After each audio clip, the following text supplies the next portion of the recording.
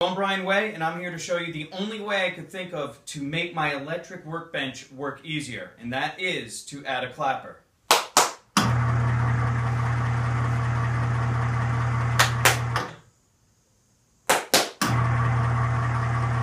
How easy is that?